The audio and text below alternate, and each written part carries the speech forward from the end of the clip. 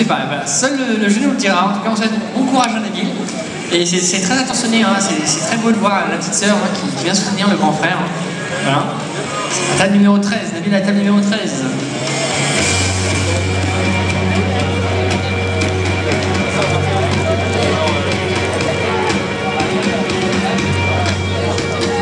Bah en fait euh, j'en ai qu'un et c'est celui.